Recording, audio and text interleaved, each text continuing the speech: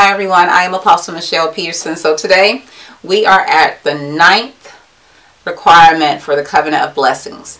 Okay, so those who um, want to know more into or more information about this covenant, please you can click here. Uh, it will take you back to the first uh, the first video that I did, and it will explain everything about what I'm talking about today.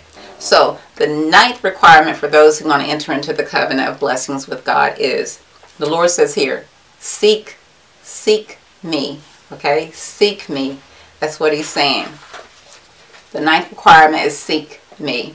So this is what the Lord says. He says, Come to me in the nights and in the mornings. Share your day with me. Seek me. I want to be a part of your day. Love on me, and you will see my love manifest in your life. Now, how beautiful is that? The Lord actually told me that. I wrote that in here. I mean, that's so beautiful. And you know, some of you guys probably already seek the Lord in the mornings. You spend your time with Him before you start your day. And then at night, you spend your time with Him before you go to sleep at night.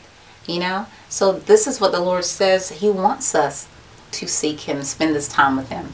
And for Him to be a part of our day. He really wants to be a part of our days.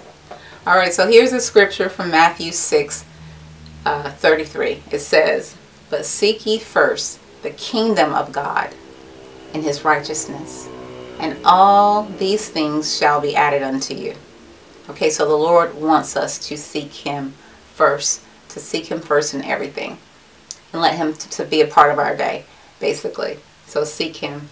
Okay, so this is the ninth requirement and we are getting we're almost through. We're almost through uh, this covenant which has 13 requirements. And if you want to check out if you're you know if you're new and you haven't checked out all the other ones go back and check those out. So okay so I'll see you in the next video. God bless